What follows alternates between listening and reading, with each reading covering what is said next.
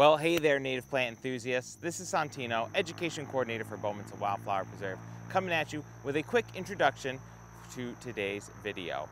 Uh, before we get started today, I want to take a quick, quick moment and just say thank you to each and every one of you for your constant and unending support of this content. Um, I was thrilled to wake up this morning and find that we have reached our 300th subscriber to our YouTube channel, um, which is kind of mind-boggling to me um, and and truly humbling. So it is it is wonderful and thrilling to be part of a community that understands how important these native plants are to not only the world um, but each and every one of us. Uh, and and yeah, so I, I can't thank you enough from the bottom of my heart from everyone here at the preserve. Um, as always, please keep on continuing to like, share, subscribe, comment, all of those things. Um, because yeah, as you all are well aware, right? Native plants are the cornerstone of every healthy ecosystem. So as always, I want to encourage each and every one of you to place your own native plant cornerstone and help us construct a healthy and vibrant world for all. Um, yeah. So anyway, thank you, thank you again, and on to today's video. Today, we're gonna do a follow-up to our previous video, which was butterfly weed. If you haven't had a chance to check that one out yet, I highly recommend that you do so. I'll have it linked somewhere here, or it might just be the end card. Um, so today we're going to focus on members of the dogbane family, which include both dogbane and milkweed. And I'm here at the South Meadow, one of two meadows that will greet you as you enter the preserve, um, as that's one of the great places to see all three of the species I want to highlight here today.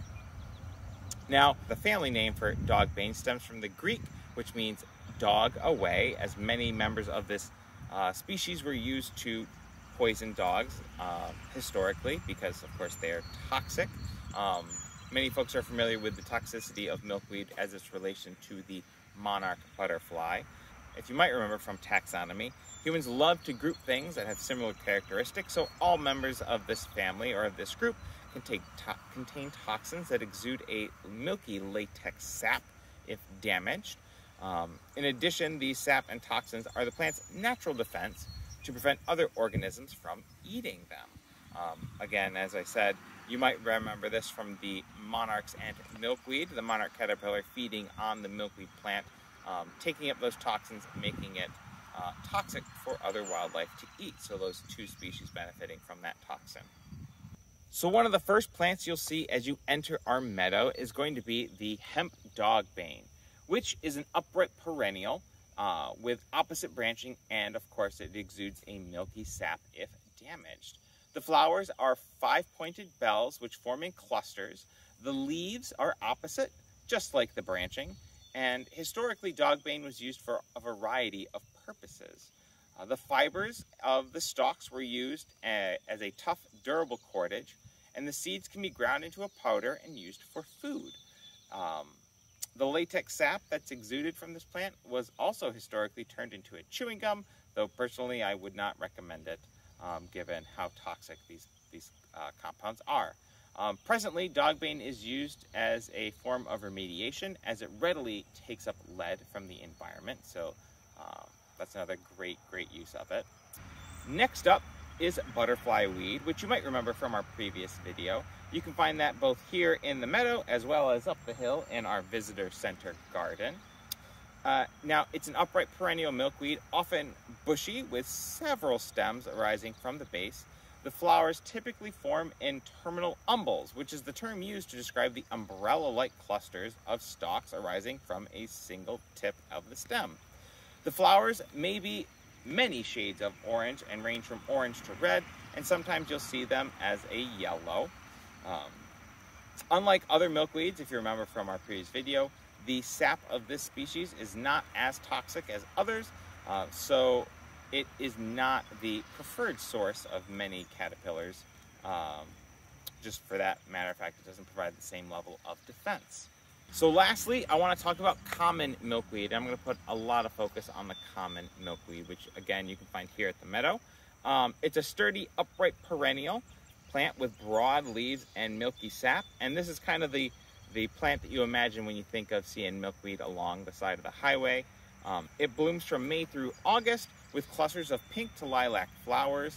Um, fertilized flowers will then form into pods, milkweed pods, which when dry will split open to release hundreds and hundreds of seeds. Each of these seeds has a uh, parachute of sorts, um, a white silky hair that is attached to them. This is referred to as the floss, and that helps disperse the seeds as they are carried on the wind. More than 450 different insect species feed on Asclepias syriaca, um, which is the scientific name for the common milkweed. This includes flies, beetles, ants, bees, wasps, and of course butterflies.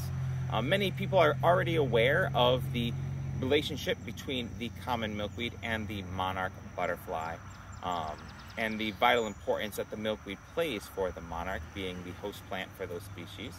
Um, in 2018, the CEO of the National Wildlife Federation stated that in the last 20 years, a reduction of milkweed is the likeliest and largest contributing factor to a decline in monarch population, which has decreased more than 90%.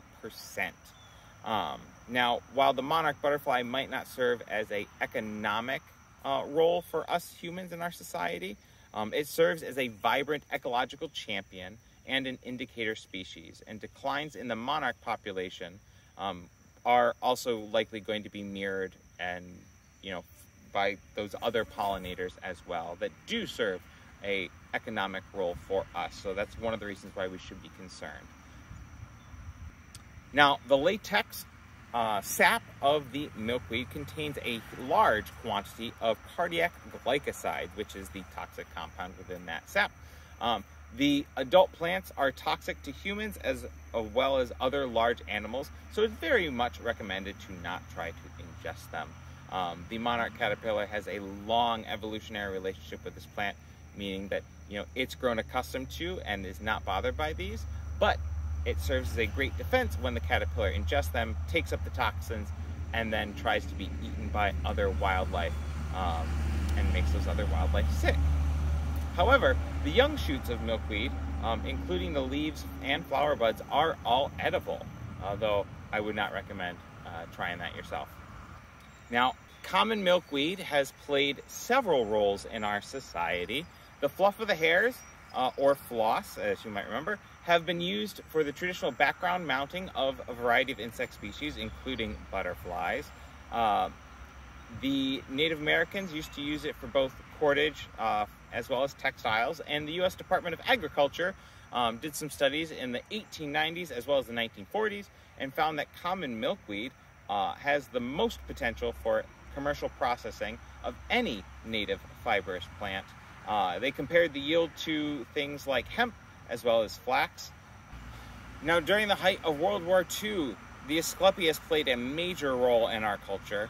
Um, in fact, sayings like two bags save one life and don't let our sailors sink were quite common. Uh, the floss, being naturally water resistant as well as buoyant, they were collected and used to stuff life preservers. Traditionally, the fibrous material called kapok, which surrounds the seeds of the kapok tree, were used for this purpose. However, military occupation of the Java Islands, or Java, during that war all but eliminated our source of these fibers. Without any access to the critical fibers from the kapok tree, the U.S. turned to our own abundant native plant resource. Uh, Dr. Boris Berkman, a Chicago physician and inventor, introduced the idea of milkweeds being used as filler in March of 1942.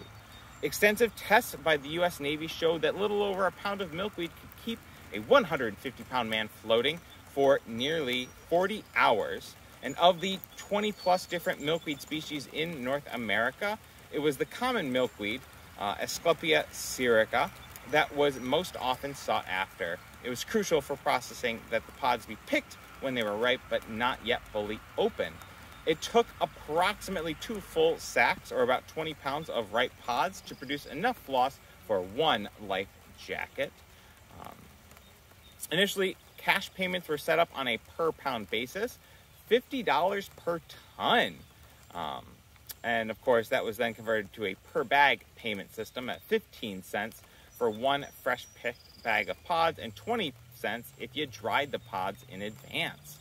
At the preserve, you can find several other different milkweed species depending on the time of the year. This includes whorled, poke, uh, as well as swamp milkweed. So each species, of course, having its own habitat preference. Um, so no matter what your garden looks like, there's likely a milkweed species that will fit for you. Remember, we want to help all of our pollinators, so I encourage you all to continue uh, planting native in your own garden. So it was during the editing process that I realized I missed discussing the interesting pollination in milkweed, and it's far too cool not to share. So, unlike many flowers, the pollen of milkweeds is clumped into a sticky, waxy packet called the pollinia. These pollinia are housed inside a chamber that's accessed through a slit formed by the fusion of the anthers. Uh, a visiting insect trying to reach the nectar offered at the top of the flower will inadvertently slip one of its legs into one of these slits, and as the insect pulls its leg out of the slit, it also extracts the sticky pollinia, which is then carried on to the next flower that it feeds on.